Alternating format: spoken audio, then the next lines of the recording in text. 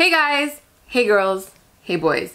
If you're new to my channel, my name is Madi, also known as Mari Bajari here on YouTube. Hello, welcome to my channel. So for today's video, I'm going to show you guys how I achieve a flawless foundation, IG approved, sweat proof, long lasting. Literally this foundation look is my go-to foundation that I do on the daily or whether it's for pictures, for just going out, whatever it is, this is the foundation base that I always do and love because it lasts all day. And yeah so if you guys are interested to see my foundation routine then I suggest you keep on watching. But before you start this video make sure you hit that subscribe button and turn on your post notification bell so you're notified every single time your girl posts. And without further ado let's get right into today's video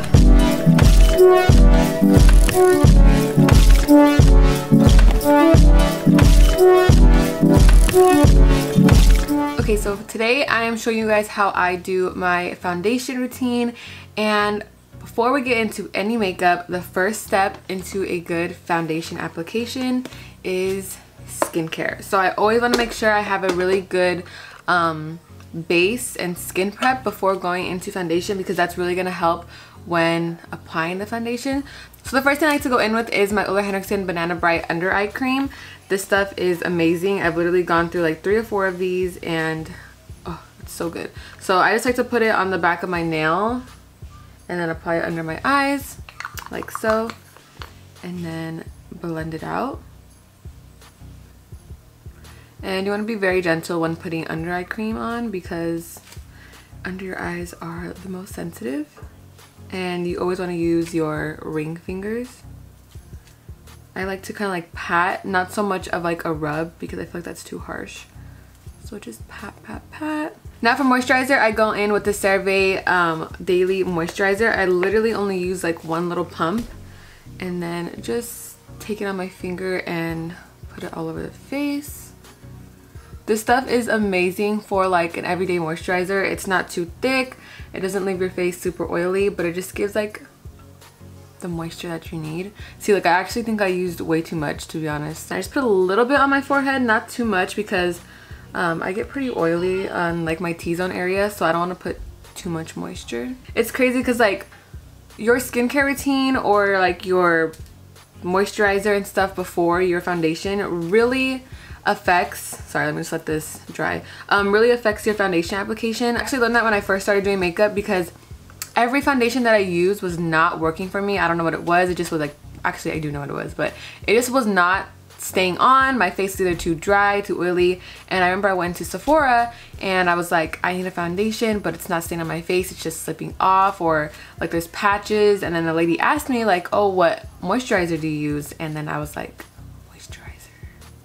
I literally did not use any face moisturizer. So skincare plays a huge part in your foundation routine. So make sure you have the right products for your skin type. Okay, so now that I have my under eye cream and my moisturizer on, we're gonna move on to some sunscreen. You do not wanna miss out or skip sunscreen. So this is the Elta MD um, sunscreen SPF 46 and this stuff is amazing because it does not leave that white cast on you and it does not affect my foundation application at all like or the how long it lasts it literally it's just there to protect my skin. I know it looks white right now but when you rub it out it turns clear. And it actually gives you a really nice glow.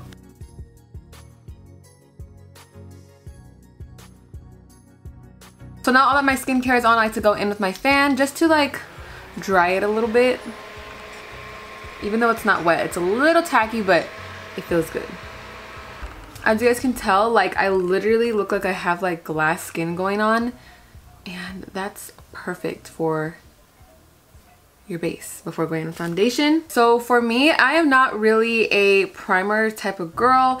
Um, if anything, like my top primer that I would love like back then, I haven't used it in a while because I haven't repurchased it, um, was the Smashbox Photo Ready, I think, primer water. I wasn't a fan of like liquid primers at all. I just feel like didn't do much and I was just kind of just wasting my money or maybe I just didn't buy the right primer but I just loved like um, spray primers. I don't have one on me anymore because I ran out but I literally have not been using primer for I can't even tell you how long maybe even a year maybe longer. I literally just go off of like my skincare products as my primer so we're not going to be using a primer in this video. But moving into foundation, my go-to foundation that I have been obsessed with recently, I've been torn between two, but then I broke it down. I was like, this is the one. Um, this is the Beauty Creations um, Flawless Foundation, a Flawless Stay Foundation, medium to full coverage. Definitely buildable. I just love this foundation, one, because it's very inexpensive. It's only $12 and also like I remember I think two days in a row or not two days in a row but twice I was like at the end of the day I looked in the mirror and I was like wow like my skin looks really good. And I was like every time I say that to myself I noticed that I was using this foundation. So I was like I need to share this with you guys. It is very inexpensive and the coverage is amazing. And I'm not the type that likes a very heavy foundation. I'm more of like a lightweight uh, foundation type of person. I'm not a fan of heavy foundations, but this one is literally that. It's lightweight, but it gives you the coverage that you need. I like the like the Your Skin but better and satin look and this is that foundation. So yeah, the Beauty Creations foundation, I am in the shade FS 3.5 and just to shake it before using it. So of course, shake it. And I just like to apply it on my fingers and then put it on my face like so. And then I go in and blend it out with a Morphe Beauty Sponge. Also, this foundation does have a scent. Um, it's not too strong, but it's definitely there. So if you're not a scent person, you might not like that, but I promise you the foundation is amazing. So yeah, I'm going in with my Morphe Beauty Sponge.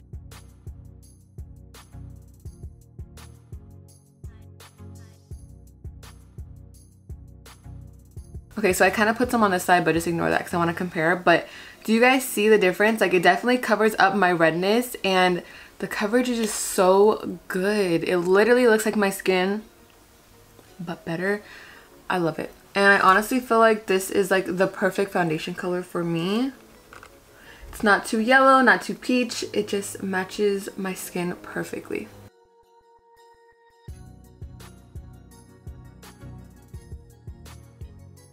And then when it comes to the forehead, I like to just put very little foundation. Um, I'm not a fan of like too much foundation on the forehead. Just to give it like an even tone, I put a little dot on top and then blend it out using the same beauty sponge. Alright, so now that foundation is on, I'm to move on to concealer. This is my e.l.f. Hydrating Concealer in the shade Medium Peach. This is my second um, bottle of this concealer. You guys, I'm all for products that are very inexpensive but do the job. So as you guys can tell, this foundation is only $12. Very good quality. Now moving on to the concealer. It is only, I think, $8 and it's so freaking good. So I don't know if I said it, but I'm in the shade Medium Peach and I am definitely running out. But I just use this to um, conceal under the eyes.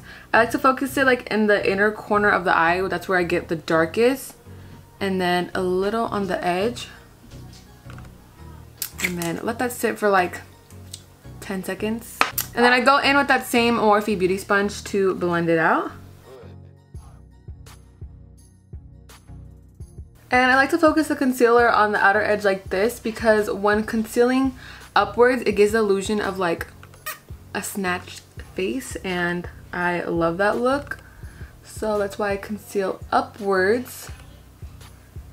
As you guys can see the difference, my face looks very lifted as to this side just kind of looks like meh.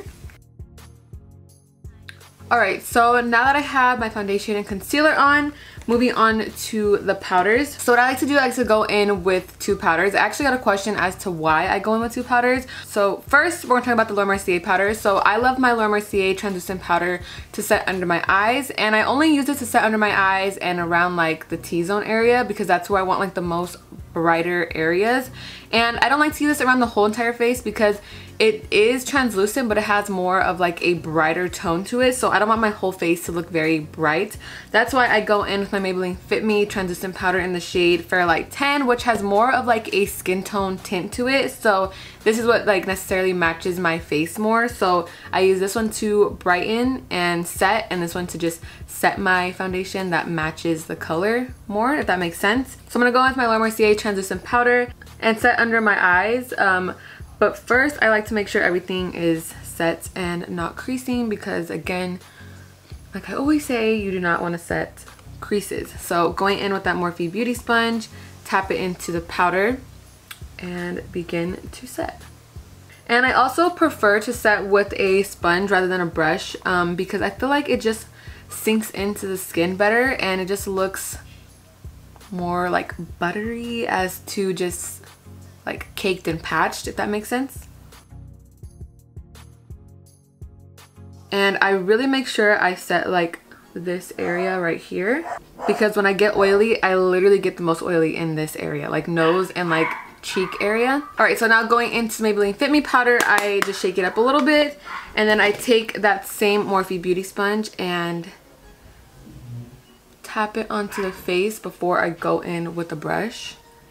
For this part, I use a brush just because I put a little extra powder then under my eyes and I have to like brush it away.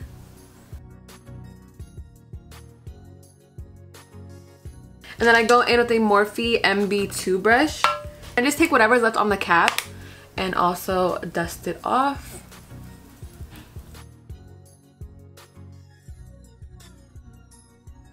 And since my forehead is smaller, I take a smaller brush. So this is a Luxie 512 small contouring brush. And I just dust off the powder. And then after I just go in with like a touch test to make sure everything is set and everything feels pretty set and dry. So now I'm gonna move on to bronzer. So now for bronzer, I love to use my Benefit Hoola bronzer. This bronzer has never let me down. I literally swear by it and use it all the time. This is probably like my fifth or sixth Benefit Hoola bronzer. I lost count. Like they were the very first bronzer that I used and they're still gonna be the bronzer that I use to this day. So this is actually the Jumbo um, Hoola bronzer. I think it was limited edition and it, well, it was limited edition, so I don't think it's in stock anymore. But it's the same as any other Hoola bronzer. And I'm going to take um, this contour brush and begin to bronze the face.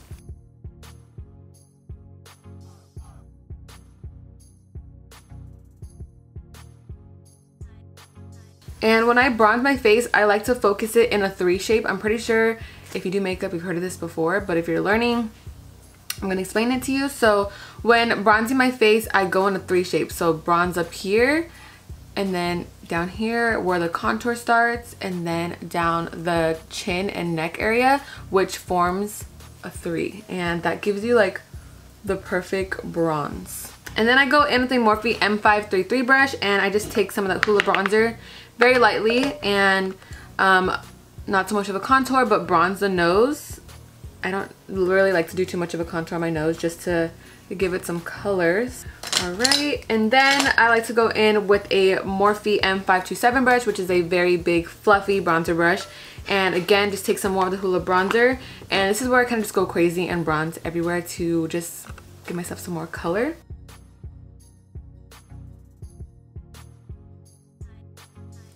So now I to go in with some like highlighting under eye powder. So this is by Dragun Beauty. This is the Face Transformation Powder and I literally swear by these under eye powders. They're so freaking good and it just like brings your face to even more life that makes sense like it just brightens up under your eyes and it looks like you got your makeup done by like a celebrity makeup artist because I feel like that's the look that they go for so what I do is just kind of just take this small powder brush and blend both the pink and yellow under eye um, powders and just focus it on the area where you want it the most bright. So under my eyes and on the sides of my nose is where I focus the powder.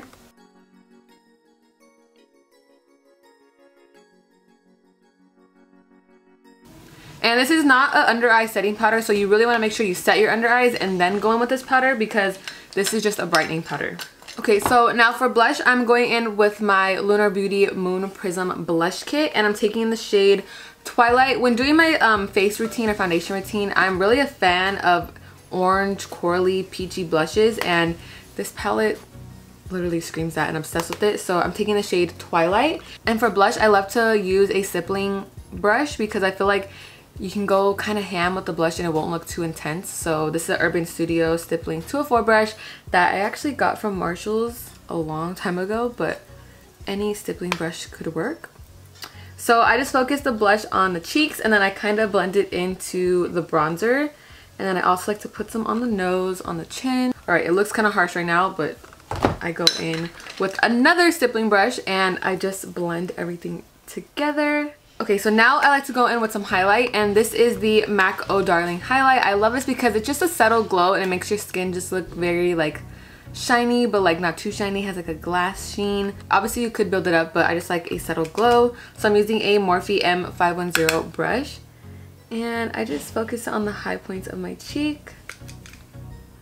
Like so. Just a subtle glow. Do you guys see that? On the nose. And then I also like to smile and kind of just get like right there so since we're here I'll just film my lip routine because it's literally the routine I do all the time. So I am taking this um, LA Girl Bare Lip Liner.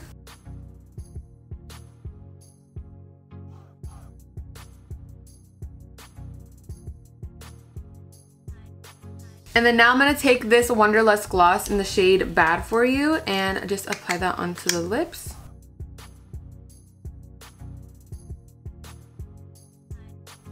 All right, and then last but not least, to set the face, I'm going in with my Morphe Continuous Setting Mist, and I'm going to set this face.